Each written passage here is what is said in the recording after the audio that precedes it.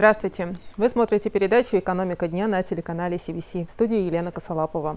В этом выпуске поговорим об экономическом развитии стран Восточной и Юго-Восточной Азии и о перспективах экономического сотрудничества Азербайджана с этим регионом. В гостях у нас в студии сегодня Фархат Парвизи, эксперт по вопросам экономики и управления. Фархат, здравствуйте, добро пожаловать. Здравствуйте, день добрый. Итак, э, Восточная и Юго-Восточная Азия. Э, если говорить про сотрудничество Азербайджана с этим регионом, объективно говоря, э, экономическое сотрудничество у нас не очень интенсивное. Возможно, сказывается здесь достаточная удаленность наших регионов. Но, с другой стороны, есть интерес к развитию этого сотрудничества. Вот, допустим, сейчас как раз находятся в Азербайджане две делегации. Делегация Китая, делегация Малайзии. Их уже принял господин президент. Как вы считаете, чем для нас э, в экономическом плане может быть интересно расширение сотрудничества со странами этого региона и вообще по каким направлениям мы могли бы сотрудничать? Это очень хороший вопрос, и эта активность э, хорошо показывает те геополитические изменения, которые происходят на данном этапе в мире. А, мы сейчас понимаем, что идет э, установление нового мирового порядка. А, Запад, Евразия сама, Восток – все пытаются переделать мир так, как им выгодно и так, как им безопасно. Два мотивирующих фактора – это всегда безопасность стран, и второй мотивирующий фактор – это экономика, это деньги как это все делать. Оставляя в сторону политическую часть и безопасности, это не топик нашей темы.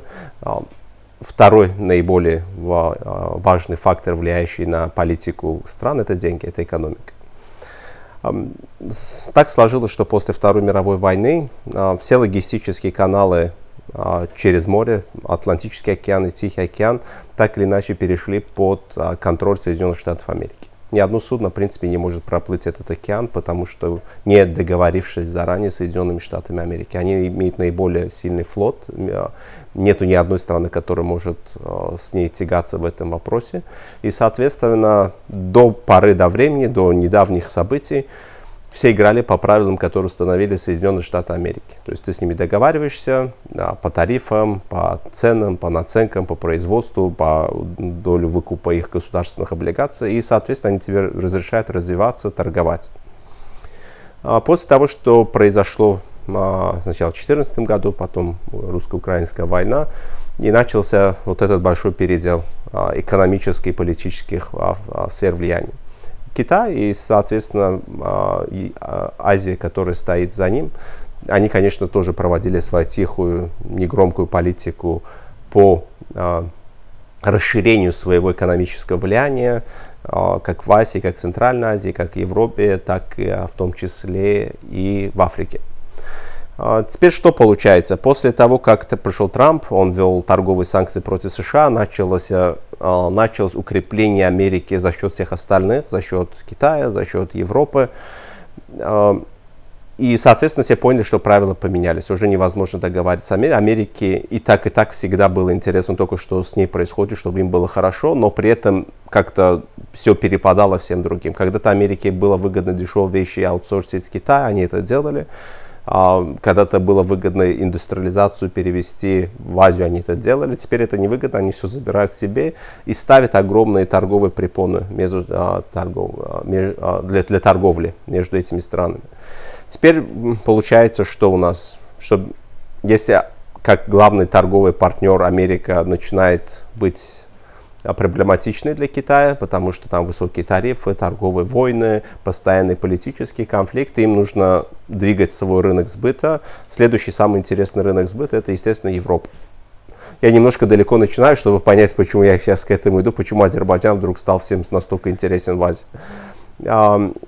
И чтобы Европу поставлять, есть, в принципе, два пути. Один через Россию, другой старый шелковый путь через юг, через Иран – а, и Вы что, имеете в виду да, сухопутные маршруты? Да, сухопутные. Да, морские пути, в принципе, под контролем Соединенных Штатов Америки. Мы, если не договоришься с ними, они не настолько ну, надежны, сейчас чтобы не только Соединенные Штаты Америки, ну, допустим, хуситы тоже контролируют маршрут э, морской. Да, кто контролирует хуситов, опять сейчас уйдем а, да, геополитику, да, безопасности к вопрос. Восточной да, и Юго-Восточной а, Азии. Поэтому, в принципе, маршрут оставался через Россию, Китай с Россией договорился. У Китая политика, в, в отличие от Соединенных Штатов, всегда была другая, она всегда предлагала делать делать бизнес и не вмешиваться в внутреннюю политику, тогда как Запад, Европа и Соединенные Штаты Америки за счет своих финансовых возможностей предлагали материальную поддержку, но она всегда шла с ценностями американцев.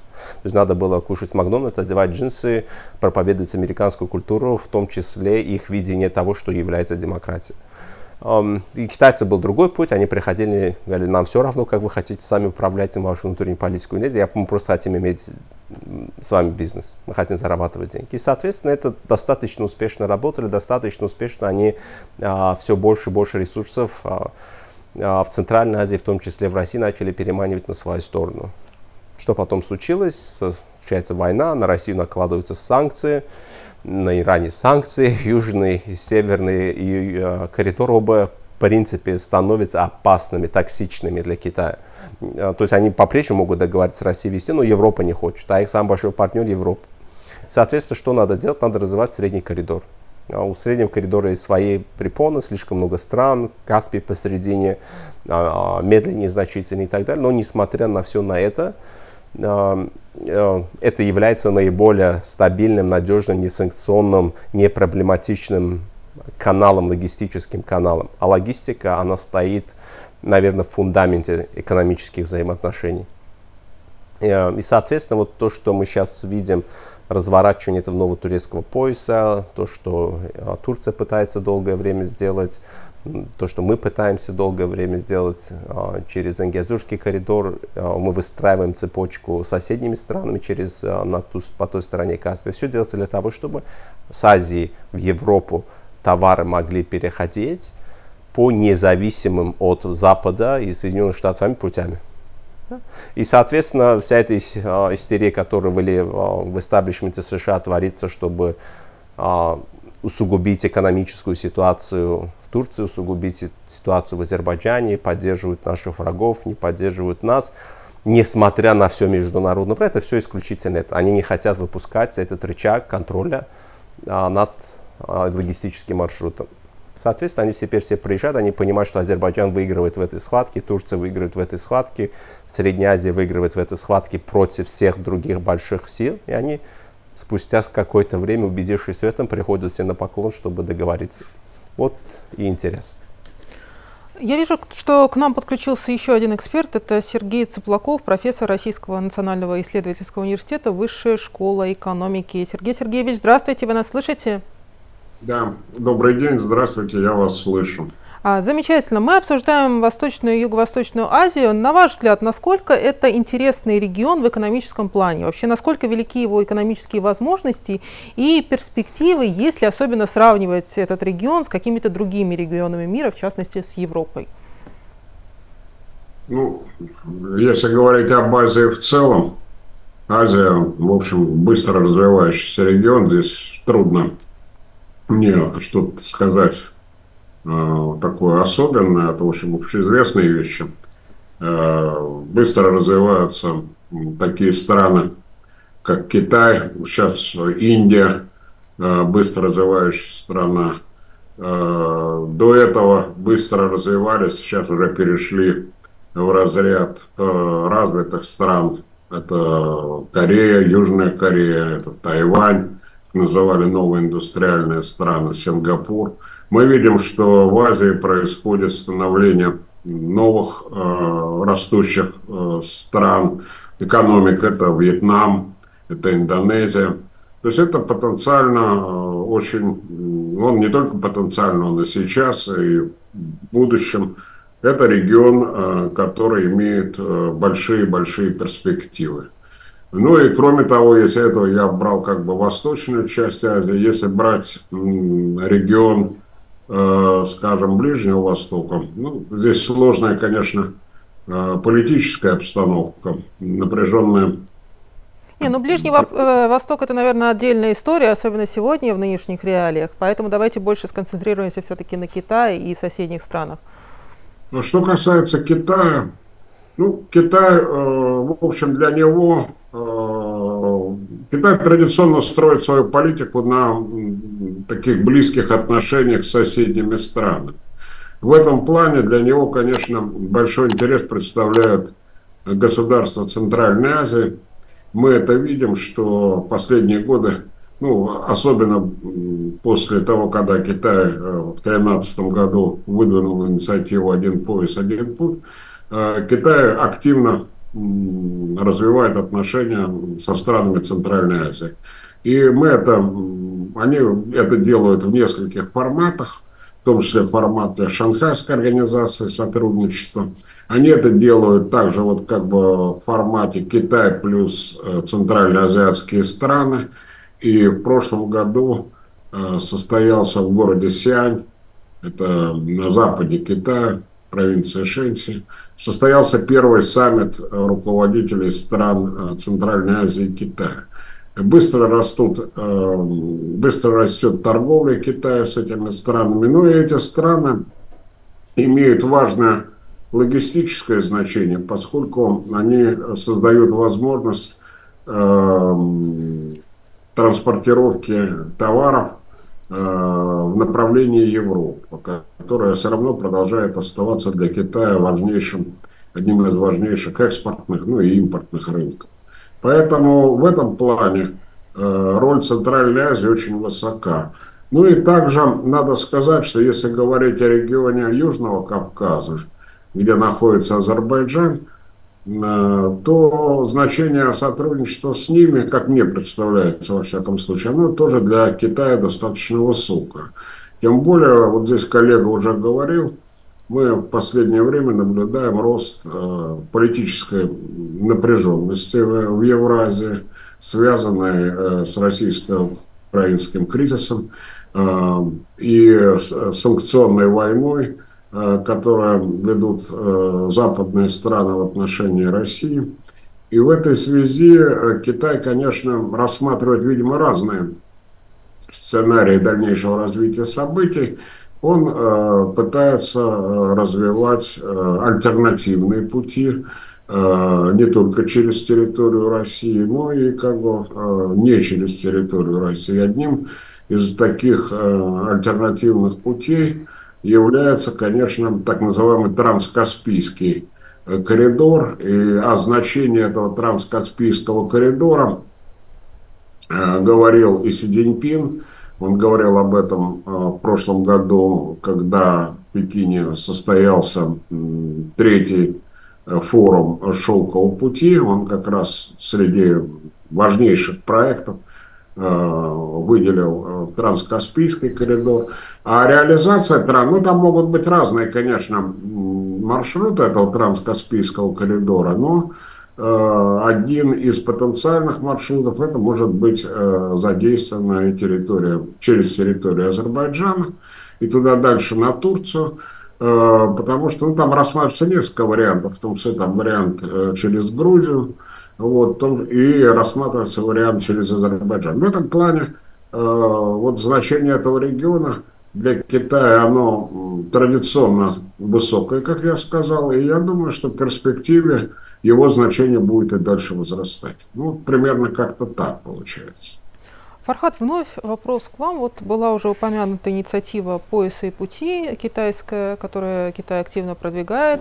Э, эта инициатива, она ведь не только про транспорт, она охватывает достаточно разные сферы экономики. Как вы считаете, для нашей страны, что эта инициатива может дать, чем она нам интересна? Ведь Азербайджан является частью этой программы.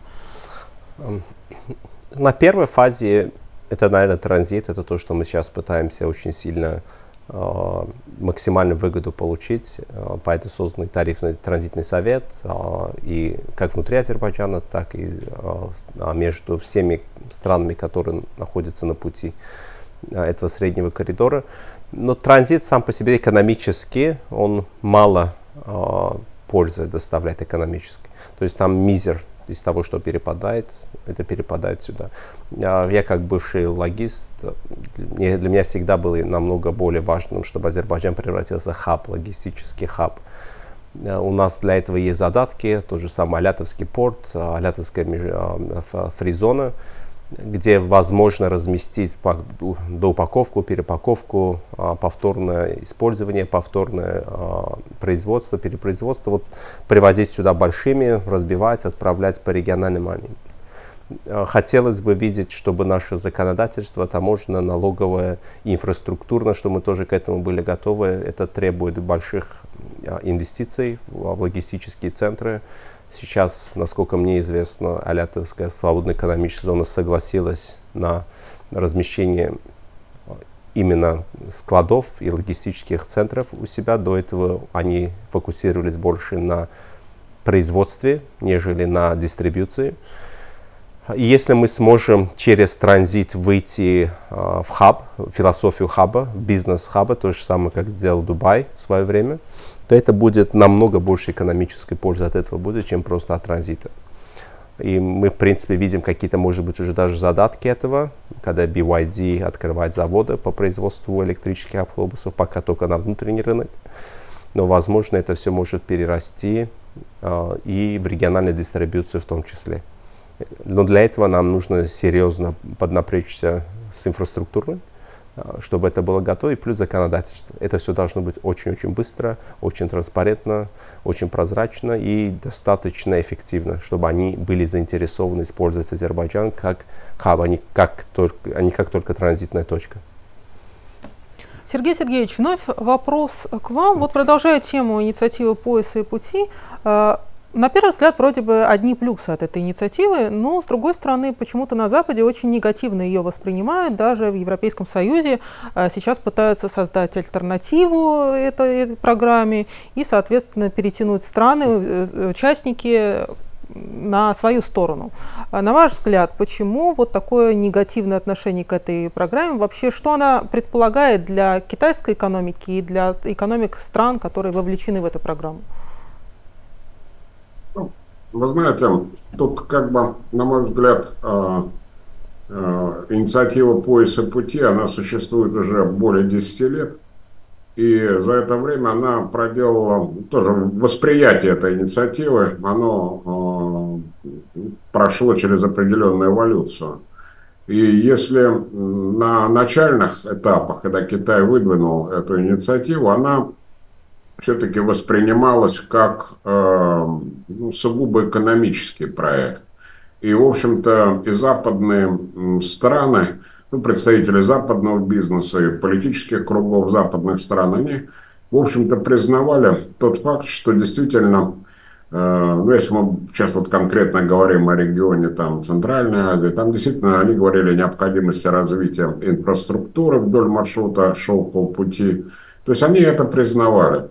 Э, и мы видели, допустим, Китай э, в 2015 году, он создал Азиатский банк инфраструктурных инвестиций. Э, ну, там прямо, правда, не говорилось, что он создан для финансирования проектов «Шелкового пути», но, тем не менее, это была такая, много... она и есть, она действует, многосторонняя организация, в ней принимали участие не только там Китай, какие-то развивающиеся страны, но и э, ряд развитых стран, э, в том числе европейских стран, с небольшими долями, но они тоже участвовали в этом проекте. А вот дальше, по мере общего ухудшения отношений между Китаем и Западом, эта инициатива начала все больше и больше политизироваться. И ее стали рассматривать исключительно как э, инструмент в руках руководства Китая, направленный на то, чтобы направленные на то, чтобы каким-то образом э, направленные на то, чтобы каким-то образом э, ну, прочить свое господство, что ли, в этом регионе.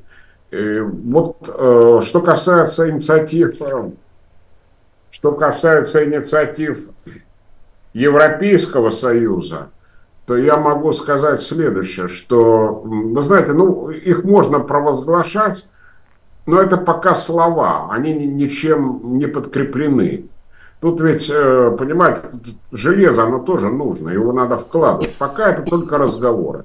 Притом, как бы китайская страна заявляет, что ну, да, мы готовы сотрудничать, мы можем искать точки соприкосновения э, с э, европейским, вот с этой вот э, европейской программой. Но если мы будем говорить о степени реальной, э, реального воплощения, она пока, в общем-то, ну, близка к нулю. А китайцы, в общем, ну, там есть свои минусы, есть свои проблемы, это безусловно. А Китай более продвинулся по реализации, по реализации вот этой вот э, инициативы «Один пояс, один путь». Фархат, вновь вопрос к вам. Хотелось бы вновь вернуться к Азербайджану, к развитию сотрудничества Азербайджана с регионом Восточной и Юго-Восточной Азии. Вообще, при развитии экономических связей с другими странами Азербайджан, одна из первых, э, один из первых приоритетов, это, конечно, э, привлечение каких-то новых современных технологий. Э, в этом плане Восточная и Юго-Восточная Азия, что нам может дать, какие технологии там мы могли бы позаимствовать? Азербайджан достаточно давно сотрудничает с Китаем в области технологий, в том числе телекоммуникации. Очень большая часть нашей инфраструктуры, в принципе, а, на Huawei.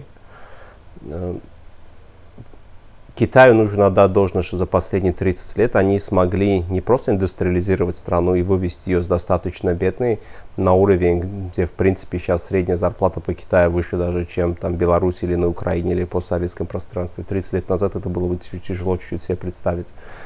А, и технологически выстроить полную цепочку производственную всего. Это очень важно.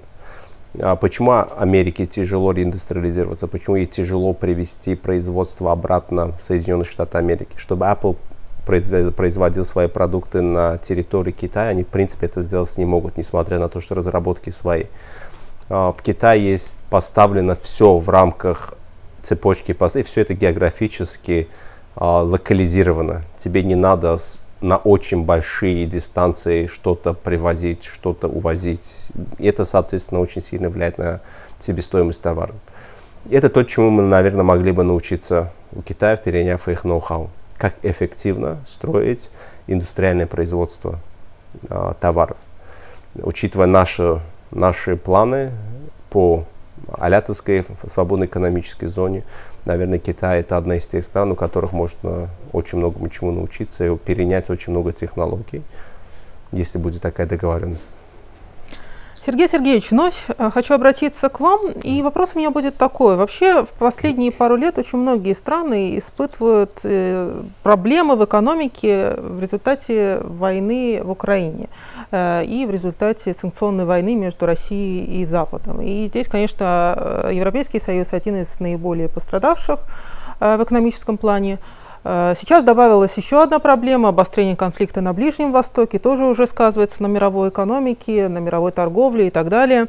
Э, если говорить о Восточной и Юго-Восточной Азии, насколько они ощутили на себе экономические последствия вот этих событий, или, может быть, наоборот, это предоставляет им новые возможности и ставит в более выгодное положение? Как вы считаете? Ну, тут как бы сложно так однозначно сказать, с Европой тут понятнее, более понятно. Вот. А вот с Юго-Восточной Азией здесь, э, конечно, более сложная картина. Ну, э, для Юго-Восточной Азии, если мы берем в широком смысле Юго-Восточную Азию, включая страны АСЕАН, включая тот же Китай, э, Вьетнам, все-таки надо признать, что эти страны сильно зависят от развития мировой торговли. И э, мы видели, что вот э, последствия пандемии, э, последствия конфликта на Украине, они, конечно, негативно отразились на процессах мировой, мировой экономики, мировой торговли. И мы наблюдали сокращение мирового спроса. Для стран, которые являются ну, как бы э, хабами, центрами производства экспортной продукции, э, конечно, такой поворот событий, он был не очень благоприятен. Ну, я имею в виду тот же самый Китай, потому что внешняя торговля Китая, допустим, в прошлом году экспорт Китая, он сильно он сокращался. Если мы возьмем Вьетнам, то он тоже испытывал проблемы. Если мы возьмем даже экономику, допустим, Южной Кореи, то мы тоже видим, что она испытывала проблемы от э, сокращения, сокращения э, внешнего спроса. Кроме того, э, вот то, что процесс, э, ну, когда начался такая вот волна, пошла санкции, и санкции затронули энергетический сектор, э, конечно, очень неустойчивы цены на энергоносители. Опять-таки, вот страны э, Восточной Азии, Юго-Восточной Азии, они крайне чувствительны к этому. Я имею в виду и тот же Китай, и опять-таки еще в большей степени Япония, э, и та же Корея. Они, конечно, чувствительны э, к этим вопросам. Поэтому здесь надо сказать, что вот эта ситуация турбулентности и неопределенности, которая создалась мировой экономике, ну, наверное, все-таки, если так общий какой-то знаменатель пытаться вывести, надо сказать, она все-таки, наверное, негативно повлияла на экономическое развитие страны Азии. С другой стороны, может быть, оно дало какие-то определенные плюсы этим странам в различных э, сегментах. То тут, ну, тут сложно, потому что идет борьба, конкуренция же между ними тоже существует. И мы видим, что, допустим, часть производств, э, я имею в виду иностранного капитала, они уходят из Китая, особенно трудоемкие производства, они переходят э, в другие страны, э, в страны, допустим, в Малайзию, в тот же Вьетнам и так далее. То есть тут как бы такая сложная картина, здесь нельзя так однозначно сказать, это было положительно, отрицательно. Я думаю, что в целом Конечно, ничего хорошего особо не было, но какие-то, может быть, отдельные возможности для этих стран также открылись. А так картина довольно неоднозначна. Фархат, вновь хочу обратиться к вам и поговорить э, непосредственно про Китай. Ну, понятно, что все страны региона э, Юго-Восточной Азии, они интенсивно развиваются, но все-таки Китай, он выделяется. Это вторая экономика мира, по некоторым показателям даже Соединенные Штаты уже Китай превосходит. Э, но сейчас э, Соединенные Штаты вводят санкции против э, Китая. Это не такие большие, обширные санкции, как против России, против Ирана, но тем не менее. Как вы считаете, вот эти санкции могут как-то затормозить развитие экономическое Китая? Затормозить, конечно, могут, а, особенно в обмене технологий. А, слишком много было завязки, Китай был слишком сильно завязан на экспорт товаров а, в Соединенные Штаты Америки. Остановить вряд ли, то, что мы видим, это на самом деле не столь даже санкции, сколько это больше, наверное, классифицируется как торговая война, тарифная война, которая исторически очень много была, это экономические войны, нежели санкционные войны. Да, это все упирается в философию Китая. Они очень долго выстраивали это тихо, это то же самое Сунь Ци, достаточно его прочитать, чтобы понять, что китайцы пытались сделать последние 30 лет, и как, что они могут тихо сидеть, укрепляться и не входить а, в диспуты и войны до тех пор, пока не будут уверены, что могут победить. Они, в принципе, к этому шли. Американцы чуть раньше, наверное, поняли это, чем они достигли этого своего пика к 2050 году, когда бы они бы и свой военный бы флот привели в порядок, и свою экономику сделали бы менее зависимой от экспорта. Мы очень много говорим, что Китай там вторая экономика мира но после Соединенных Штатов Америки. Но мы не должны забывать, что в США 350 миллионов людей, а в Китае 1,2 миллиарда людей. То есть а, ВВП на душу населения в Соединенных Штатах все равно намного-намного больше. То есть страна намного экономически сильнее, чем Китай. Но это для Китая дает ту возможность после того, как они достигнут своих экономических показателей, сфокусироваться на внутренний спрос, нежели на экспорт. Китай на данном этапе вынужден продавать богатым странам, как Европе, так и Соединенным Штатам, для того, чтобы укреплять свою внутреннюю экономику, делать своих людей богаче. Как только это произойдет, они достигнут того же дохода на душу населения, как близкого к Европе, и это 1,2 миллиарда людей, достаточно состоятельны, тогда Китай, в принципе, может ослабевать свою зависимость от экспорта и фокусироваться на внутреннем спросе. Это то, к чему они идут, просто все процессы начались чуть раньше, они не совсем готовы пока к этому. А, Сергей Сергеевич, ну и, наверное, заключительный вопрос у меня будет э, к вам. Вы как считаете, насколько Китай на сегодняшний день страдает от той торговой войны с Соединенными Штатами, которая продолжается уже не первый год? Вообще, может ли Китай что-то противопоставить этому? Вы знаете, тут как бы вот сейчас коллега говорил, я в принципе согласен. Тут момент-то какой? Э, борьба, ну если брать чисто экономическую сферу – Э, основной сейчас камень преткновения между Соединенными Штатами и Китаем – это вопросы новых технологий и зеленого развития. Вот здесь идет основная борьба. И тут какая ситуация? Китай, безусловно, э, сильно зависит от американских технологий, от западных технологий, ну, в более широком смысле. Это полупроводники, это чип. Американцы это понимают, они пытаются этим э, воспользоваться. В то же время, если брать зеленый переход, то Китай Э, очень сильно продвинулся в развитии электромобилей. Он э, продвинулся в развитии ветровой энергетики, в производстве солнечных панелей, э, то есть развитие солнечной энергетики. Вот здесь коллега совершенно справедливо отмечал, что преимуществом Китая является наличие целостной системы отраслей, вот, э, сложившихся вот это вот экономических связей внутри страны. Это позволяет Китаю очень быстро масштабировать производство. То есть, э, и вот эти вопросы сейчас встали э, очень остро. И мы видим, допустим, что Соединенные Штаты, надо сказать, что вот э, администрация США, она ведь тоже принимает меры к развитию Э, на территории США, допустим, производство полупроводников, производство чипов. Они дают большие субсидии, они там э, приглашают тайваньские компании, говорят, ну давайте вот в Аризоне у нас там стройте заводы. Они также пытаются сейчас развить свою ветровую энергетику, я имею в виду оборудование для ветровой энергетики. Поэтому вот э, это столкновение, которое между Соединенными Штатами и Китаем, я думаю, что оно будет долгим. А вот как конкретно будет развиваться торговая война, ну, тут многое будет зависеть, конечно, как э, в Америке будет, как в Соединенных Штатах, кто придет к власти, как они сами это понимают. Но вот, э, ну, на самом вероятно... деле и Трамп, и Байден э, вели торговые войны с Китаем. Так что, наверное, да, вне зависимости верно. от результатов выборов следующих, все равно они продолжатся. Это верно. Я просто думаю, что тут как бы у них, э, ведь Байден сохранил все фактически те вот пошлины, которые Трамп ввел тогда на китайские товары, он сохранил. Более того, он говорил, э, говорит о том, что надо еще повышать. Сейчас он говорит там о стали, алюминии.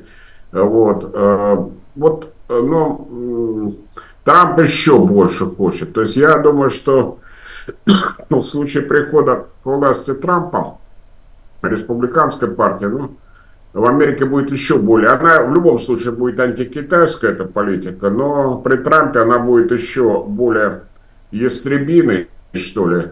И самое главное, ну, с учетом личных качеств самого Трампа, ну, она будет менее предсказуемой, я бы так сказал. А так, в принципе, ну, Китаю трудно отвечать, он тоже ответил. Они ввели, допустим, лицензии на Галлии и Германии, на два металла. Этот металлы критически важны для Запада. Тем более тут у Китая сильная позиция. Но вот, э, конечно, э, бороться пока в области чистых вот технологий, ну, Китаю сложно. Здесь он проигрывает. Но у Китая есть плюс, я уже сказал, э, это вот наличие целостной системы промышленных мощностей, возможность быстрой концентрации усилий и масштабирования производства. Вот здесь и будет развиваться конфликт. Э, чем он закончится, ну, я тут не берусь предсказывать. Это очень сложно, тут очень много, что называется, переменных и неизвестных факторов, неопределенных факторов. Спасибо большое, уважаемые эксперты. К сожалению, время нашего эфира подошло к концу. Напомню, что в гостях у нас в студии сегодня был Фархат Парвизи, эксперт по вопросам экономики и управления. А по видеосвязи к нам присоединялся Сергей Цыплаков, э, профессор Российского национального исследовательского университета, Высшая школа экономики. Это была передача «Экономика дня». Меня зовут Елена Косолапова. Сегодня мы говорили об экономике стран Восточной и Юго-Восточной Азии и о перспективах экономического сотрудничества с этим регионом. На этом передача подошла к концу. Всего доброго. До свидания.